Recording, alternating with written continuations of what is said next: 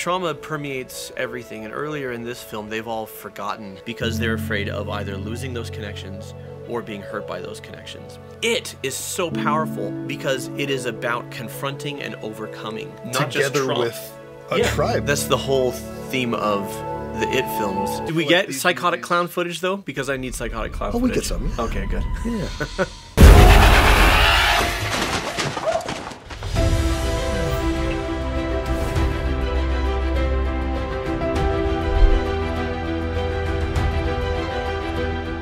welcome to Cinema Therapy. I'm Jonathan Decker, licensed therapist who loves movies. I am Alan Seawright, professional filmmaker, and I need therapy. So what are we doing today, Brosif? We are uh, going to react to some stuff, and by we, I mean you. Awesome. And by you, I mean it. No, y- it's going to react to you. You're going to react. You're We're watching. Are we watching it today? We're watching it. Okay. We're watching oh, it. Oh man, this. Okay, so it parts one and two. Actually, so I in in my middle age am finally just loving horror movies. coming around to horror, right? Yeah, it took me a long time because Yeah. I was not strong enough for this. I'm a sensitive soul. You've seen. I like to cry. Uh, I also like to get scared, and I get very scared in movies. So you have to detach. So I have to, think I have to filmmaking. detach enough to think Yeah. of the filmmaking. So it's this balance that I try to find, where it's like it's scary, but like I also know what's going on. I didn't, I didn't achieve it with this, this. one. I had nightmares. You're just like, ah, those kids. Somebody have those kids. My heart freaking broke for Georgie. Yes. Enough that I almost didn't want to watch the movie.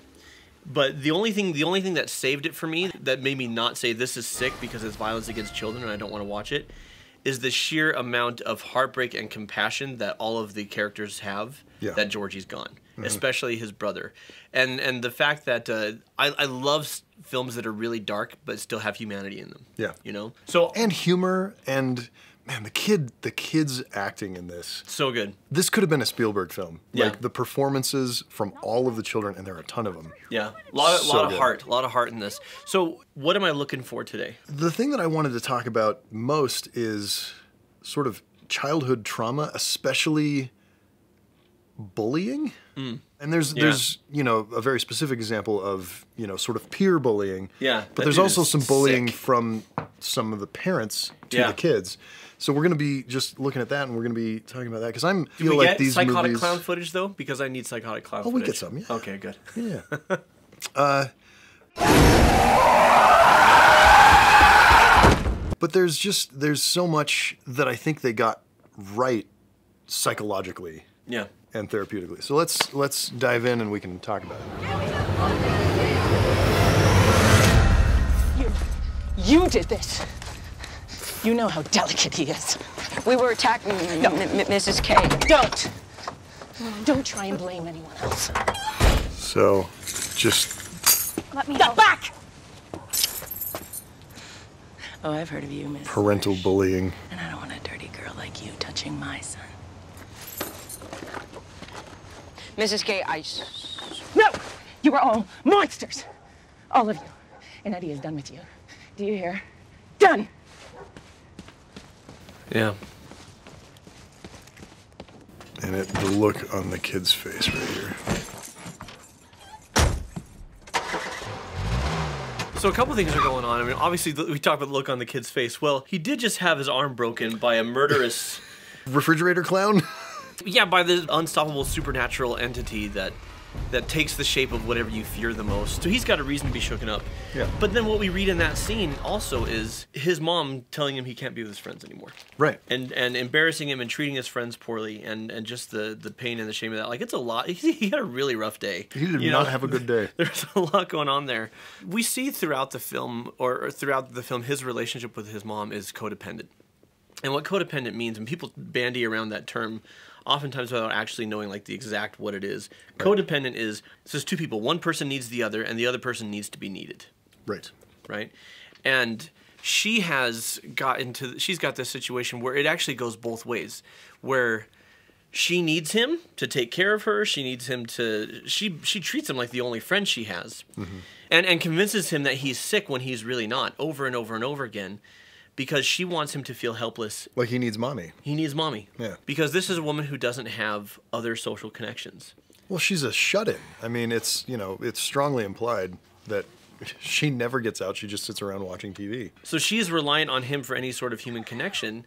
And then the flip side of that is she lets him have friends and friendships, but on like a very short leash. Mm-hmm. And for his part, this is what he's learned that his relationship is. And we see throughout the film, he's neurotic. He's always afraid of the germs, always afraid of the injuries, always he's afraid of the world around him because that's what his mom has taught him Yeah. to be, so that she can keep him close. Well, the fact that his fear, that it manifests his fear as this sort of giant leprous vomit monster. Yeah, yeah. You know? Like all his germaphobe things is It's what, all rolled into one thing that's which is frankly horrific and kind of awesome. so great. like as, uh, from great. a practical from a practical effects standpoint, right? Oh boy. So let's talk about that monster for a second. I want your filmmaker. Tell me about the makeup effects in this movie. There is an absolutely spectacular, maybe the best I've ever seen, blend of practical and digital makeup effects, like It's on seamless. a person's face. It's seamless. There, there are so many times where I literally couldn't tell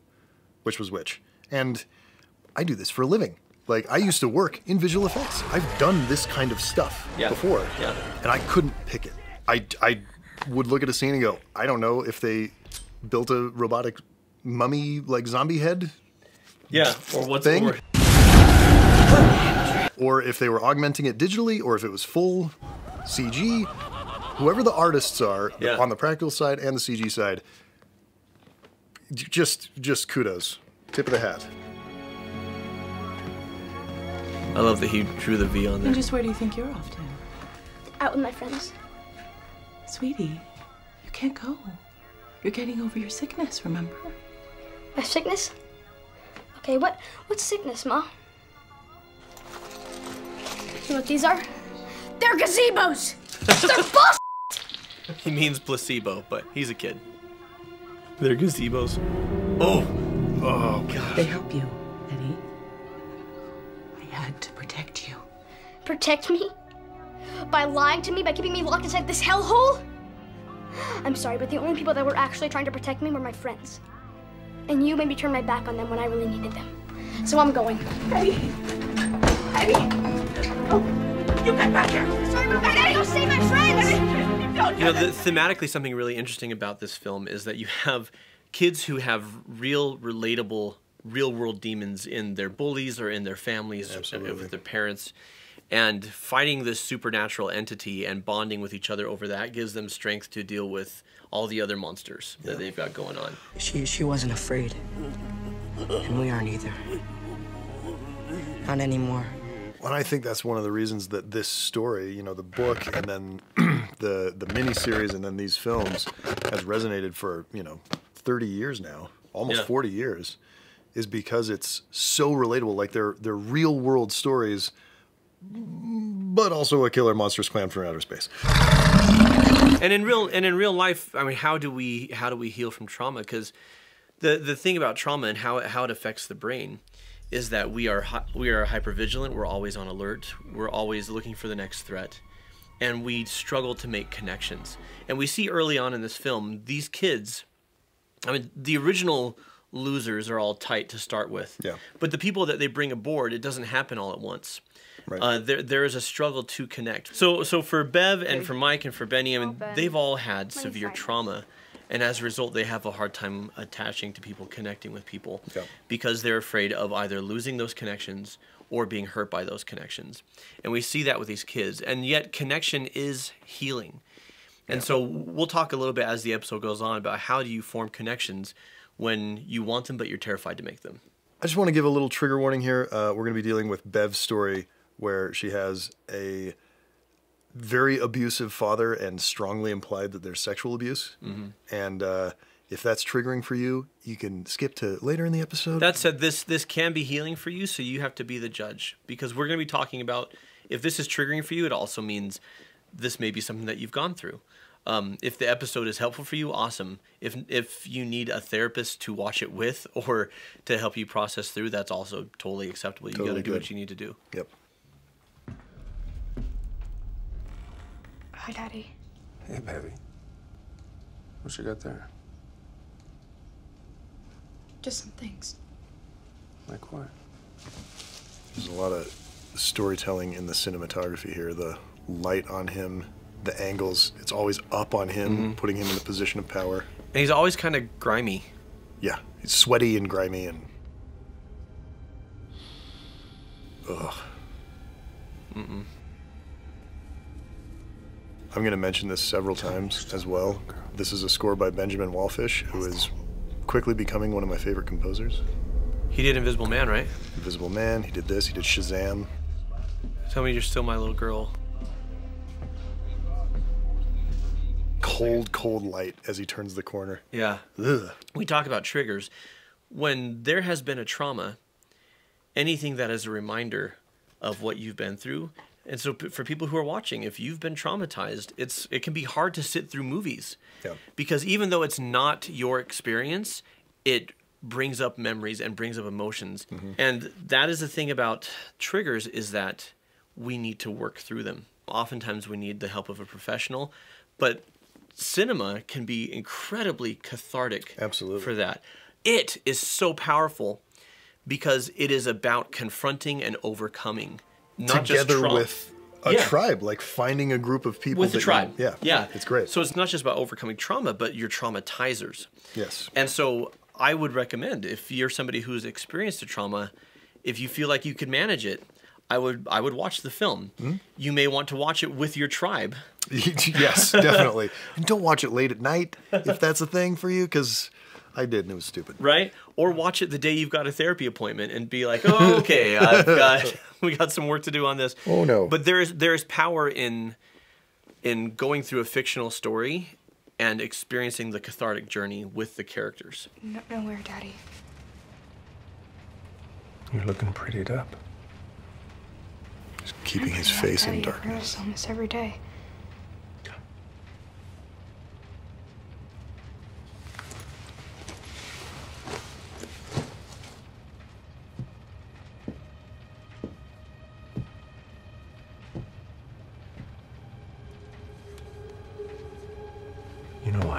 About you, Bevy. I love that when it tilts up to her, it goes Dutch mm. to keep things off kilter. About you. There's a lot of talk around town that she sleeps around, which she doesn't. Boys. The only girl in the pack. They're just friends, I swear. I know. What's in boys' minds when they look at you, Bevy? I know all too well. My hand.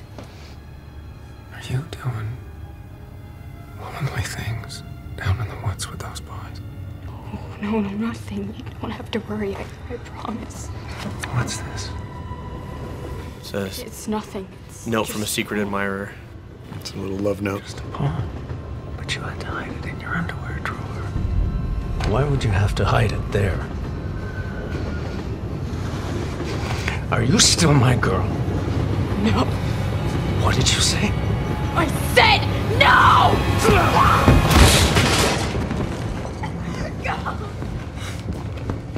Get away! No!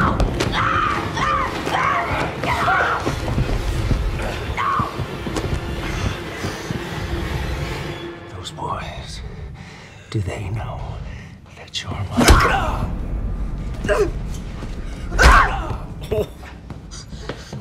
Oh, you just feel it. Well, as an audience member, you want that to happen. Oh, you absolutely do.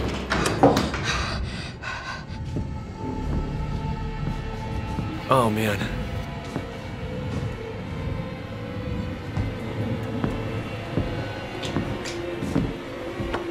I want to do commentary, but I'm so just It's like just riveting.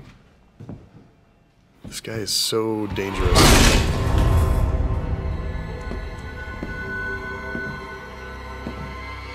What made me mad watching it is that I, I wanted the clown to come after these people.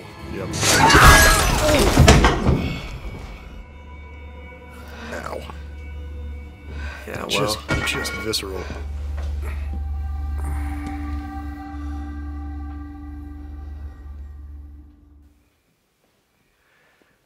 what are your thoughts? I just it's hard to watch. It is really, really hard to watch. Um, you know, I, I hope that this kind of trauma is not a thing that you've experienced, but it's also, you know, we're, we're going into a scene here in just a second where we see that she has internalized some of this stuff and continues to play it out in her adult life. So here she is later in life. So for those who haven't seen, there's two It films. The first one takes place when they're kids. Yep. The second one takes place 27 years later when mm-hmm. the clown returns, and as adults they try and, and put it away for good. But also with flashbacks to them as kids. Yeah. You don't have to explain yourself to me. Relax. I trust you. Thank you. Hmm. He seems great for a second. Oh yeah. And then he does the same thing your dad did.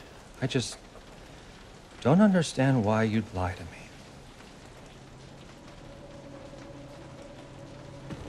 I heard you. You said the name Mike. Yes, my friend. So there was a group of us back then, and then we all made a promise to each other when we were kids. You know trust is everything in a relationship. You know, know. it's everything to me, right? I know. This isn't. What? Like the last time? I never cheated on you. You're a bad f***ing liar, Bev. You're not going anywhere, okay? I want you to stay right here, and you're gonna show me what it is you're gonna do with Mike, okay? Yeah, you're hurting me, honey. No one else is gonna love you like me. You know that, right? I'm, I'm sorry.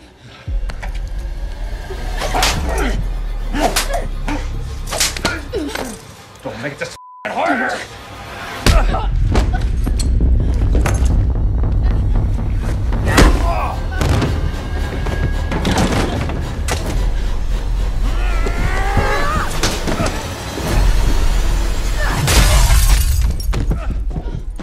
It so closely mirrors the exact interaction she had with her dad. Kick to the face, smash him in the head with something. Yeah.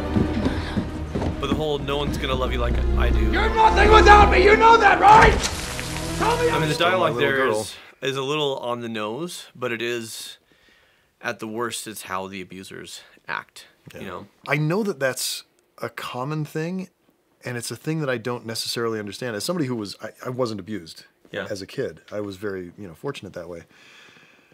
Why would people get into a cycle of abuse. get into a cycle of abuse? where they Like, keep how does ending that, up with someone abusive. How does that happen? What abusers are really skilled at, generally speaking, is finding someone who's vulnerable, finding someone who's looking for belonging and attachment, and playing the part, and, and playing the role really well, and and then slowly turning the screws to feed into this. I'm still a nice person, but if I was abusive, it's because of what you made me do. Yeah. Right. And it takes a lot of strength to stand up to that and say, no, that's not that's not what's going on here. Okay. Um, in rarer, I think this is far more rare, but I do think sometimes we recreate the past so that we can win. And so Oh, I don't think someone says. "I'm going to go find an abuser," and then I'm going to be, I'm going to, I'm going to defeat him or her. gonna, yeah. yeah. But I, I do think we could find ourselves subconsciously drawn to certain types of people because we want that type of person to accept us, so that we can let go of when we were rejected in the past. This is spicy and bloody, but This- also kind of clowny. I've got clown popcorn. So you've got the spicy cinnamon. I got cinnamon. I've got sugar cookie just because it seemed like it seemed like a little circus, non-threatening. This would be a happy clown popcorn. That I think would be a This little. is this is Pennywise walking around with a balloon. This is Pennywise after the balloon pops. well done. Big news, folks. Huge. We are pairing with Lisa's Popcorn for a monthly subscription box of gourmet popcorn delivered to your door. It's amazing. You can get six different flavors of popcorn delivered to your door each month. And if you use code C Therapy, you get free shipping for how long, Jono? Para siempre. For life. Yes, you Not eat- forever. if you die, they are not going to ship it to your corpse. You can even customize your flavors each month to fit your mood or your movies, just like we do on the show.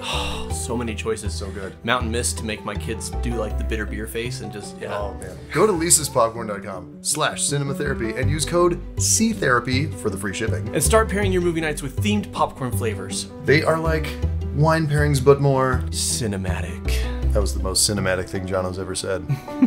get it cheap and get it because it's good. Well, it's like Michael Scott when he's like, I don't even know what I'm going to say. Sometimes I just start talking and I find it while I go. Uh huh. The one thing Stephen King, I, I wouldn't say he doesn't get enough credit for. Stephen King explores how dark and messed up our humanity can be, how dark and messed up our world can be, and then sheds light on it. Where you have a balance, where you have characters who are trying to do something good, where you have. The only reason it is tolerable for me is because the heroes have so much compassion. Yep. Right? and and so you have that contrast. And Stephen King is actually brilliant at that. So good at it. like The so Stand. good. I don't know if you've read The I Stand. have, like yeah. that is the evil in that is so evil. Incredibly. But the but the good like contrasts it so well. Yeah.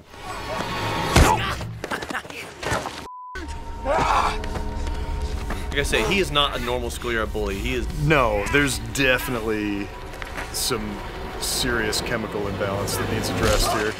well, there's chemical and then there's nurture. I mean, his There's dad's a also monster nurture. too. Yeah.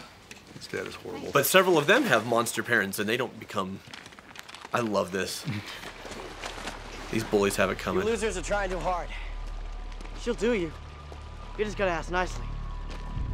Like I did. But nothing happened.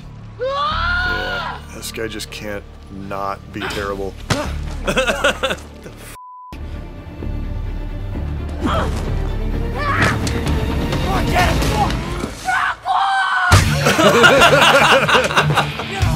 The rock War. Were you that kid? As soon as someone starts something, you're the one that screams it like, "Yes, this is happening!" even though it's terrible. You know, I actually, I never. I was that kid. I was not that kid. I totally was. Like, ah! What the hell's going on here? So he's been shooting at gun. stuff in his backyard. You're cleaning my gun, huh?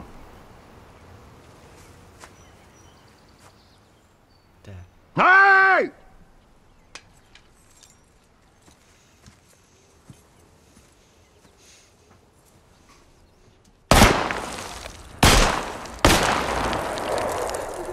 Look at them now, boys. Ain't nothing like a little fear to make a paper man crumble.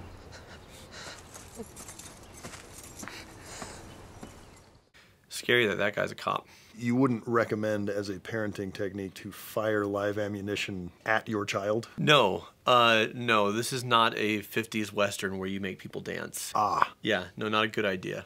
Got it. So he, I mean, he comes by his homicidal lunacy honestly. Sure. You know, the kid does. And of course, he stands up to his dad by straight up murdering him because the clown tells him to. Yeah, there's there's other issues at play there. Right.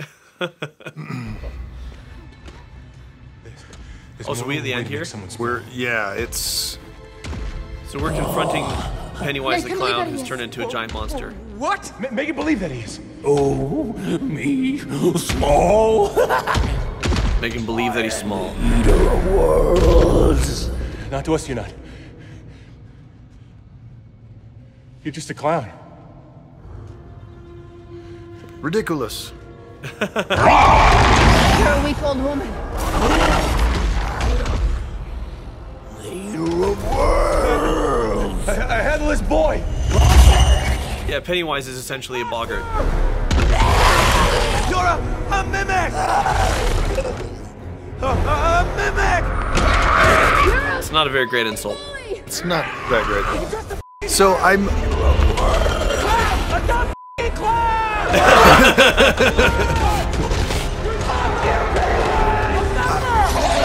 I have an issue with this like storytelling. I mean, the effects are they- pretty awesome. Oh, the effects are great. A mother stupid mimic. The way they defeat uh the way they defeat this bully is by bullying it. Yeah. Is that healthy? I mean, that's that's how I read it. Is that how you read it? Like, what are we doing well, here? So the thing that, about Pennywise that is much like that is a lot like real bullies is they feed on fear. Like that's where the power comes from. Sure. Yeah. Right. And so they make it more literal and mythological here, where he is he's big and strong and powerful. The more the more people are afraid of him, the more power he has. I love Bill Hader so much. Just rips his leg off. Just pulls it off. And she's like, "Wow." okay, like, we're doing that now, right? Um, and so the fact when they're not afraid of him, then he loses his power. I mean, it is. You said ridiculous. I mean, it is very. I love it when his head splat, the splatter of his head there. beating hard. Um, it is very much like the the boggart in Harry Potter. Um, and that when you turn something you're afraid of into something that you laugh at, then it ceases. so scary. I, here's a little detail though. I, I wasn't crazy about this ending, but I love the tiny little baby hands being like, no, please. Yeah, the little baby hands like, Don't take my heart out, please. and the little. Sounds like the uh, the guy in Roger Rabbit. It does. He talks. And he even looks like Roger Fuck Rabbit at this point. There's a little bit of Roger Rabbitness in his face. Um. So looking at that psychologically and how we deal with trauma. So first of all, they've all found their tribe, right? I mean, it is important when you are working through trauma that you have people who are working through it as well or who are further along in the journey. Grown up. Look at you all grown up. He's almost proud of them.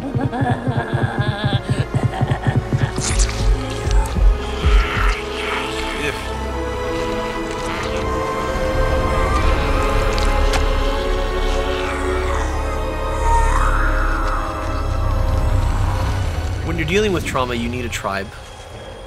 You need a tribe of safe people who know how to treat trauma and people who are experiencing or have experienced what you have. And that's the thing is that's the whole theme of the It films is community. Yeah. Community against threat. Trauma permeates everything and earlier in this film they've all forgotten all of them but Mike have forgotten their childhood trauma. Now, in the film, it's a narrative device where there's like a curse the further they get away from the town. The less they can remember. The less they can remember. But in real life, we repress and suppress memories so that we can function. We don't want to go there. We don't want to relive it. We we suppress things and we repress things because they're so awful and they're so painful, and we try and soldier on keeping them behind us. But they will, just like Pennywise, they will resurface. Yep. They will just keep coming up until we face them, until we deal with them. And the way through trauma is empowerment. And the theme of the film that I love so much is they remember. Like when this is all done, they don't start to forget again. Right. And the reason is they say, well, I, there's so many good things to remember, and I don't want to lose the good things by, you know, by forgetting about the bad. Now, for some of you, you're fine to forget all of it. There's whole swaths of your life where it's just negative. Um, but it's not going to work. Forgetting it is not going to work. Transforming it into a positive occurs when you take it and you turn it from I'm a victim to I'm a survivor. From I'm a victim to I'm I'm an advocate. From I am helpless to I am prepared. And empowerment and community is how we heal from trauma. I'm actually very passionate about this subject. I, I focused for years on couples and family. Recently, uh, together with my wife, I've pivoted towards trauma because there's such a need. Right. And so we have, I want to just throw this out here. We're not the only ones you can work with, but if you've been traumatized, we've got a program called Mended Light. We've got, we're on YouTube, we're on social media, and if you don't work with us, please work with somebody. Yeah. Because trauma, it will stay with you, and it will haunt you, and it will pursue you until you face it, which is, for me, the big takeaway of the It films. For me, the big takeaway of the It films is uh, if you're going to have childhood terror, it's much more effective to have it affecting children in a film than it is affecting, uh, you know, Adults. Bill Hader and Professor X. Yeah. And uh, uh, Molly from Molly's Game. You know, I, I, I thought the second the one was- performances were very, very good from was- the adult characters, but it's it's just less affecting, I think, psychologically. It was it was fun. Like I thought the second one was fun. I thought the first one was terrifying, fun, and moving. It's it's there's really good stuff in it, and it's but I'm not sure it Yeah. says anything that the first film didn't already say. I don't think so. And and say perhaps a little more effectively. Mm-hmm. So on that note, tell them about our socials, Capitan Seawright. I apparently am a Spanish sea captain now. Jack Sparrow. Jack Sparrow. Jack Sparrow. Jack Sparrow. Our socials are at therapy underscore cinema on Twitter and Instagram. We are also r slash cinema therapy on Reddit. So until next time, you'll float too. You'll float too. You'll float too. You'll float too. You'll float too. You'll float too. You'll float too. You'll float too. And watch movies.